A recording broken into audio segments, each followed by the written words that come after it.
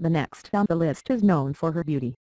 Sahar has won numerous beauty pageants like Miss Universe Canada and was first runner-up in Miss Global Beauty Queen and second runner-up in Miss Tourism International. Born on 17 November 1986, Sahar is a beauty queen, model and actress with Iranian-Canadian nationality.